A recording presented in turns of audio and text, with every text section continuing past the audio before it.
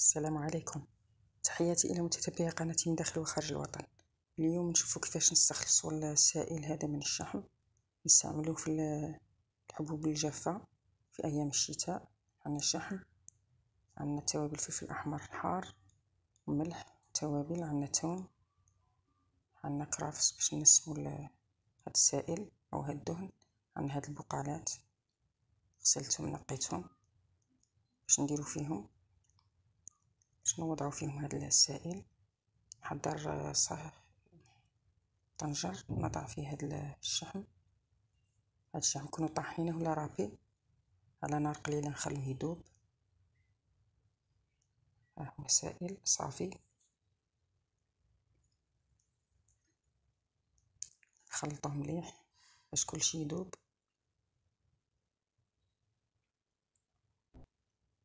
نحضرو هاد المصفات نصفو هذاك الشحم. نعاودو نفرغوه في هاد القارورات أو هاد الزجاجات. هاد السائل صافي بعد ما صفيته في المصفات نقسم. نصف نديره صافي ما فيهش هاد المنكهات والنصف الآخر نديره فيه التوابل والفلفل الأحمر والحار والكرافس والثوم هاد الشحم الدائب هذا نسحقوه في البركوكس ولا في الحبوب الجافة. مثل العدس اللوبيا حمص خاصة في هاد الأيام تاع البرد. بديل الزيت هذا خير من الزيت المهدرج.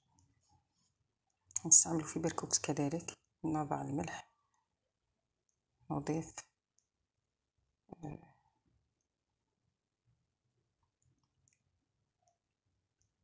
نضيف الفلفل الأحمر.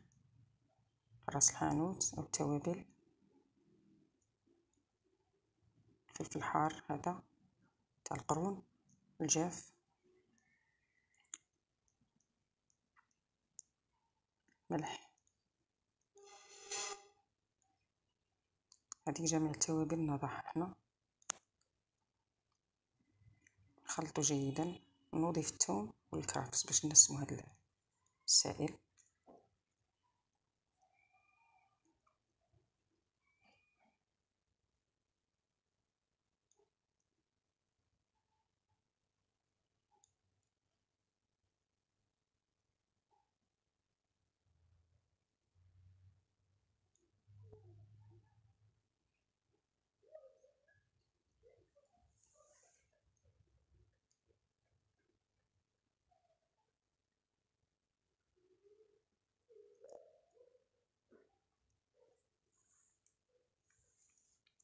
هو اللون تاعه تبدل. نحتفظوا به في الثلاجة ومن بعد البق من بعد نجبدو نشوفو باش. باش نحضرو به. كي نستحقو نجبدو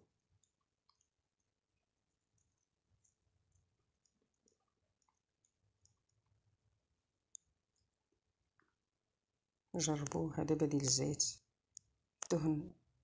حيواني خير من الدهن المهدرج. ما تنسوش الاشتراك وتفعيل الجرس ليصلكم الجديد وإلى اللقاء.